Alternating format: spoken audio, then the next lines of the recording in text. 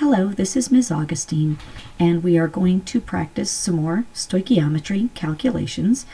Today we're going to try a mass-to-mass and a mixed mole problem. So remember, there are five types of stoichiometry problems that we encounter. Um, and today, as I said, of the five, we're going to be looking at mass-to-mass and mixed calculations. Remembering that our conversion fact that makes it a stoichiometry problem is a mole ratio, which is comparing the number of moles of any two substances relative to a reaction equation, and that that information comes directly from a balanced chemical equation. You can think of the balanced equation as the recipe, so to speak, for the reaction.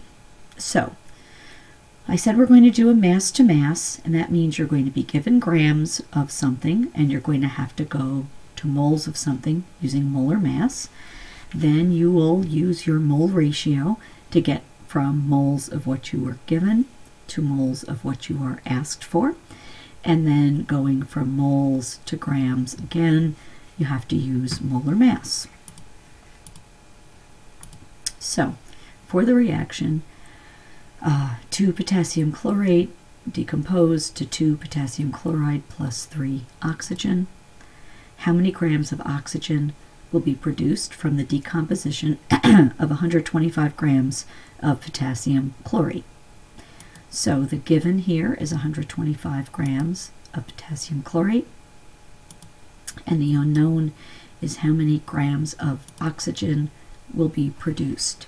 Again, it's always a really good idea when you're starting out doing these problems to circle the given and the unknown because that's what's going to be in your mole ratio. Those are the two things we're talking about.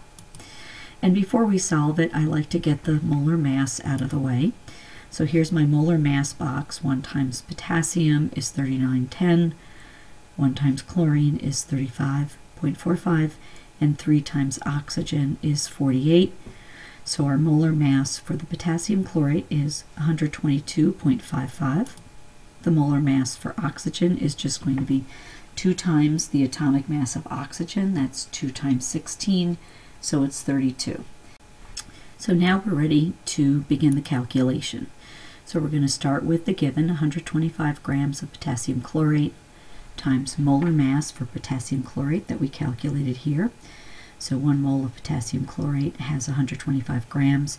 Notice our given was grams, so in our first conversion fact, grams needs to be in the denominator so that grams of potassium chlorate cancels out. Now we're ready to go to our mole ratio, which is going to come from our equation.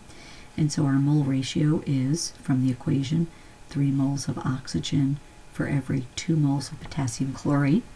Notice here that moles in the previous step was in the numerator, which means it has to be in the denominator here, so moles of potassium chlorate cancel out. Now we're at moles of oxygen, so we need to multiply now by molar mass to get rid of oxygen. So again, here we have our fraction and we're going to have molar mass with grams in the numerator. We want grams, so grams has to be in the numerator. We're getting rid of moles, so that has to be in the denominator, so that moles of oxygen cancels out. So we're going to plug into our calculator 125 divided by 122.55 times 3 divided by 2 times 32, and that's going to equal 48.95 grams of oxygen. That number has four significant digits, so we're going to round that to 49.0. Our third digit would be the 9, but because it's followed by a 5, we round up. Now we're going to try a mixed problem. And in a mixed problem, you're going to get some unit. If it's grams, your first step will be going to moles using molar mass. If it's liters, your first step is going to moles using molar volume. And if it's particles, your first step will be using Avogadro's number to get to moles. The next part would be the mole ratio, going from moles of this to moles of that. And then finally, with your final unit, you're either going to use molar mass to get to grams, or you'll use molar volume to get to liters, or Avogadro's number to get to the number of particles. So this is going to be a mass to volume problem. So for our same reaction, the decomposition of potassium chlorate to yield potassium chloride and oxygen, we're asked how many liters of oxygen will be produced from the decomposition of 175 grams of potassium chlorate. So the given is 175 grams of potassium chlorate, and our unknown is how many liters of oxygen. Now, because we're starting with grams, we're going to have to calculate molar mass, but at the um, second half of the problem, we're just going to use molar volume to get to liters. So again, starting with molar mass, our molar mass box, 1 times potassium is 39.10, 1 times chlorine is 35.45, 3 oxygens are 48, so our total is 122.55.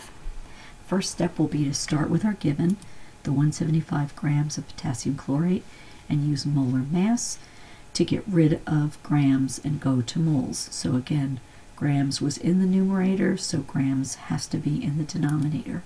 Grams of potassium chlorate will cancel out. Now we're at moles of potassium chlorate, so the next step is our mole ratio. We're going to want oxygen in the numerator and potassium chlorate in the denominator. So our ratio is 3 moles of oxygen for every 2 moles of potassium chlorate moles of potassium chlorate will cancel out. Now we're at moles of oxygen, and to get from moles of oxygen to liters of oxygen, we're going to multiply by molar volume. So 22.4 liters of oxygen for every one mole of oxygen. Again, mole of oxygen is the denominator. In the previous step, mole of oxygen was the numerator. So moles of oxygen will cancel out.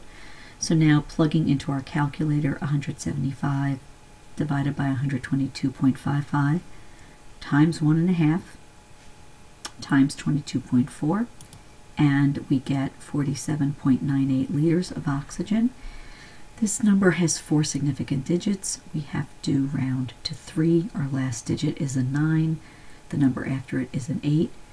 Uh, the rule is 5 and above, you give it a shove, so that will round to 48.0 liters of oxygen. So what we did here was we were given grams, we went from grams to moles using molar mass, then we multiplied by our mole ratio, and then we multiplied by molar volume, and again we ended up with 48.0 liters of oxygen. So this is Miss Agostine signing off. I will be posting more stoichiometry problems for us to practice very soon, um, and I hope this helps. Thank you.